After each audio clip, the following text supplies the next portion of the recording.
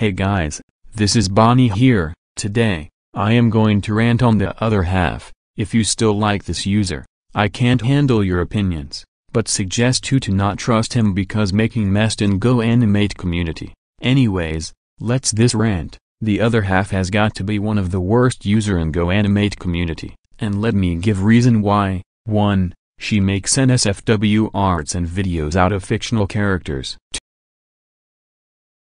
Are you freaking serious right now? This is YouTube, not Pornhub, and you could get community guideline strike for doing that. This proves that you're Zin Zin TV wannabe. 2. She likes about her gender. One of example, is that she claims that she is a boy, when she is not. She actually a girl, this proves that she is a pervert. 3. She treated Scott Pilgrim like it's a gift from God, this proves that she is a Abanov wannabe, even though that I hated him is dead topic. 4. She supports pedophiles like Blue the Bone.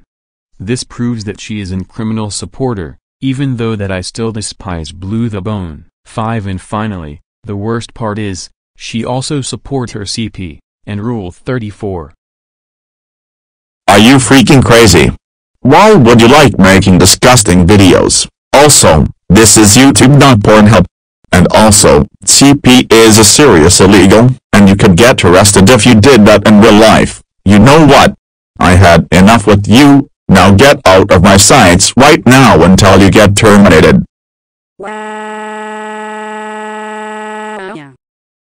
The other half sucks. Circus off on so many times better for disgusting CP and Rule 34, and the rant. Thanks for watching. If you like this video, you're welcome to like, comment and subscribe to my channel anytime.